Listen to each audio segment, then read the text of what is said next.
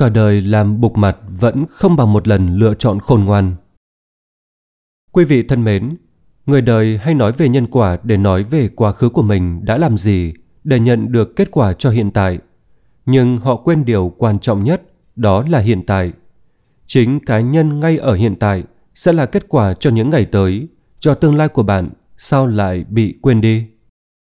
Ví dụ như cuộc sống của bạn hiện nay là kết quả của những lựa chọn từ 3 đến 5 năm trước và cuộc sống của bạn 3 đến 5 năm tới sẽ phụ thuộc vào những lựa chọn, quyết định và hành động của bạn ngay ngày hôm nay.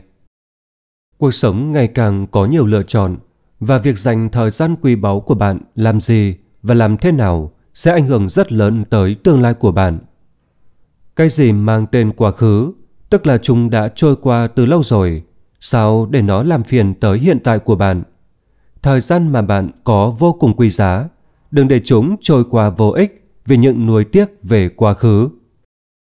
Khi đến với cuộc sống này, chúng ta ai cũng giống nhau, không có quyền lựa chọn bố mẹ giàu có, hạnh phúc hay khổ đau. Nhưng chúng ta có thể lựa chọn mình sẽ sống tốt như thế nào, sẽ đem lại nhiều niềm vui và hạnh phúc cho những người xung quanh ra sao. Quá khứ như thế nào không quan trọng bằng tương lai. Trong khi đó, bạn không thể thay đổi quá khứ, nhưng tương lai là điều bạn hoàn toàn có thể. Hãy làm chủ tương lai tươi sáng của chính mình. Đã không ít người kêu trời rằng sao tôi nỗ lực chịu khó làm mọi việc, thế mà mãi vẫn không giàu. Quá nhiều người chăm chỉ nhưng không thể thành công. Họ còn chẳng đủ khả năng nhận ra mình đã sai đến đâu và vẫn tiếp tục cố gắng. Cứ nhìn ra xã hội mà xem, hầu hết chúng ta đều có ý thức về việc phải chăm làm, chịu khó, nhưng mấy ai được hưởng cuộc sống hạnh phúc. Việc lựa chọn sai cần được nhận thức sớm và buông bỏ khi cần. Không phải việc gì cũng chăm chỉ cố gắng là được. Bạn cố gắng cho một điều sai thì chỉ càng đi xa các giá trị chân thực của cuộc sống mà thôi. Giống như một người đầu tư khôn ngoan sẽ chọn cách bán cắt lỗ khi cần, chứ không cố theo đuổi đến cùng để nhận hậu quả trắng tay. Đôi lúc ăn ít còn tốt hơn là chẳng được cái gì cả. Có một vị lão hòa thượng, bên cạnh ông có năm đệ tử thành kính. Một hôm, lão hòa thượng dặn dò các đệ tử mỗi người đi lên ngọn núi ở phía đông để gánh củi trở về. Năm đệ tử vội vàng đi lên núi. Chưa được bao lâu thì gặp một bờ sông. Mọi người tỏ ra kinh ngạc. Chỉ thấy nước lũ từ trên núi tràn xuống. Dù sao thì cũng khó mà tơ tưởng đến sông để đốn củi. Không biết phải làm sao, bốn đệ tử đành quay trở về mặt mày ủ rũ. Duy chỉ có một tiểu hòa thượng là vẫn khá ông dung. Lão hòa thượng hỏi nguyên do. Tiểu hòa thượng lấy từ trong áo ra mấy quả táo, đưa cho sư phụ và nói rằng không qua sông được, cũng không gánh củi được. Thấy bờ sông có một cây táo, còn thuận tay hai mấy quả về.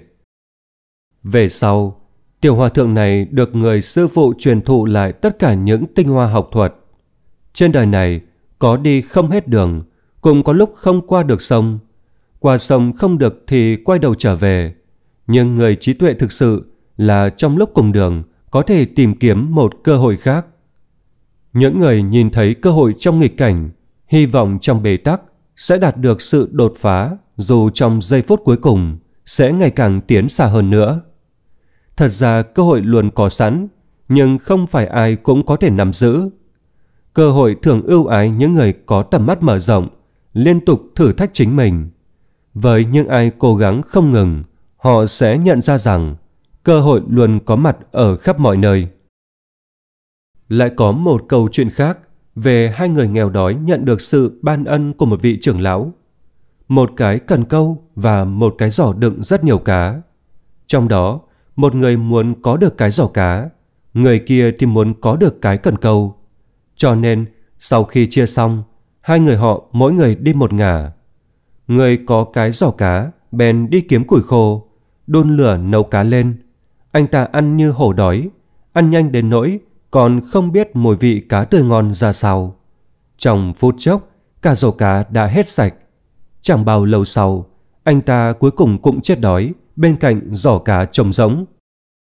Còn người có cái cần câu, ban đầu anh ta tiếp tục cố gắng chịu đói, Lễ từng bước chân khó khăn đến bờ biển. Nhưng khi ra đến nơi thì cuối cùng cũng sức cùng khí kiệt. Chỉ còn đôi mắt có thể nhìn xa phía đại dương xa thẳm. Cuối cùng, anh ta cũng đành phải nhắm mắt xuôi tay trong tiếc nuối. Lại có hai người nghèo đói khác, cũng được vị trưởng lão ban ân cho một cái cần câu và giò cá. Nhưng mà bọn họ không phải đường ai nấy đi, mà là cùng nhau hợp sức đi tìm biển cả. Hai người bọn họ mỗi lần đi nấu chỉ một con cá, sau đó trải qua bao vất vả khó khăn, cuối cùng cũng đi tới biển. Từ đó về sau, hai người cùng nhau bắt cá mà sinh sống. Vài năm sau, bọn họ đã có thể dựng được nhà, từng người một có gia đình con cái, có thuyền đánh cá riêng, cuộc sống ngày một hạnh phúc và an khang. Quý vị thân mến, khi được trao cho cơ hội, hãy tỉnh táo đưa ra lựa chọn. Lựa chọn đúng, sinh mệnh của bạn mới được đảm bảo. Ngược lại, có những quyết định sai lầm dẫn tới cả một đời khóc hận.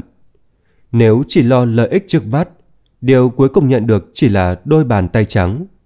Còn biết nhìn xa trông rộng, tìm kiếm cơ hội trong những cảnh ngặt nghèo, chắc chắn sẽ cải biến được vận mệnh, gặt hái được thành công. Làm thế nào để có lựa chọn đúng? Thứ nhất, khả năng quyết định. Trong cuộc sống, hàng ngày chúng ta phải đưa ra rất nhiều các quyết định. Chúng diễn ra trong mọi lúc mọi nơi. Nhưng thật không dễ để đưa ra một quyết định nào đó vào những tình huống mà ta cho đó là quan trọng. Bạn đã bao giờ gặp tình cảnh hào hứng về một việc sẽ có một ngày nghỉ để làm điều mình thích. Nhưng đúng vào ngày nghỉ, ta phân vân mãi trong lựa chọn, không biết nên làm gì vào lúc này, hay làm việc này hay là làm việc kia. Kết thúc, ta lại cảm thấy mình chẳng làm được gì cả. Vậy làm thế nào để rèn luyện khả năng ra quyết định dứt khoát và hợp lý nhất? Người không hiểu chuyện thường cho rằng đọc sách thật là lãng phí. Cuộc sống thực còn bao việc phải làm, chứ cần gì mấy thứ lý thuyết xuông. Và cứ thế, họ liên tục đưa ra những quyết định sai lầm, chuyển hướng cuộc đời mình đến chỗ tăm tối lúc nào không hay biết. Họ không biết rằng đọc sách mới là cách khôn ngoan nhất trong các lựa chọn. Qua sách, chúng ta có thể học hỏi cách người khác giải quyết vấn đề. Có thể hiện tại đó chưa bao giờ là vấn đề của chúng ta, nhưng trong tương lai thì ai mà biết được. Việc ngại hay lười đọc, đó là lý do bạn mãi chỉ là kẻ tầm thường. Lúc nguy cấp nhất là lúc đòi hỏi chúng ta vận dụng mọi kiến thức của mình để xử lý tình huống ngay lập tức. Nhưng nếu bạn vốn chẳng có chút kiến thức nào, thì lúc này đầu óc trống rỗng. Còn người đã tích lũy đủ, họ thường có cách giải quyết khôn ngoan nhất trong lúc này. Đó là lý do nỗ lực cả đời không bằng một lần lựa chọn. Thứ hai, lựa chọn đúng là một quá trình tìm kiếm. Không ai khác mà chính chúng ta tự tìm kiếm lựa chọn cho riêng mình. Còn phụ thuộc vào người khác thì vốn bản chất của nó đã là một lựa chọn tồi rồi. Đúng hay sai thì đó cũng là lựa chọn của bạn rồi, hãy có trách nhiệm với nó. Đừng nản lòng khi bạn có lựa chọn sai, đó thực sự là một hành trình dài của việc sai và sửa, điều chỉnh để chúng ta dần tiến bộ hơn trong từng ngày. Nỗ lực cả đời không bằng một lần lựa chọn, không có nghĩa là chúng ta được phép lười. Cũng đừng cho rằng người lười thông minh hơn như cách báo chí ngày nay tuyên truyền. Lười ở đây chỉ trong góc độ của người chưa hiểu biết rằng đối phương không động chân động tay làm việc, nhưng họ lại động não rất nhiều. Đó là thứ bạn chẳng thể nhìn thấy được bằng mắt thường. Để có một con đường bớt trông gai hơn, chúng ta có thể học hỏi làm theo những người đã thành công. Bạn có biết khả năng sao chép và chụp ảnh của bộ não chúng ta rất tuyệt vời chúng ta có khuynh hướng làm theo những gì chúng ta thấy nhiều nhất. Vì thế, hãy nhớ chọn bạn mà chơi, chọn người để giao lưu học hỏi, mở mang trí tuệ. Sau đó, kiên trì học tập, rèn luyện và hành động để đạt được ước mơ của mình. Vì ước mơ chính là động lực đưa bạn tới thành công. Thứ ba, không có quyết định nào là hoàn toàn đúng cả. Sự thật là không có quyết định nào đúng hay sai, bởi vì mỗi quyết định là một phép thử để ta có thêm thông tin chất lượng cho những quyết định sau.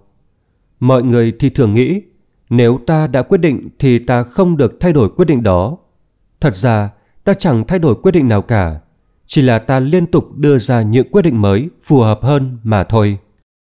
Đừng quá bám chấp vào một quyết định cũ nào đó.